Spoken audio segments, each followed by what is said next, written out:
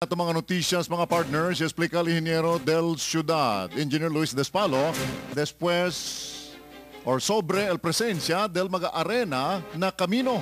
Emprentero mismo del ila 12 station of the cross na Parque del Abungabong. Este siguiendo también el reclamo del cuantos mga diboto que posible causa desgracia para kanila el existencia del de este clase mga arena por causa taqueda rebolosao o malanduk el mencionado lugar. Asigun kun despalo con el mencionado lugar ya tiene que asfaltear de más temprano por el de este Honduras. Razón para tener rastro de mga arena na mismo camino. Report del Pueblo.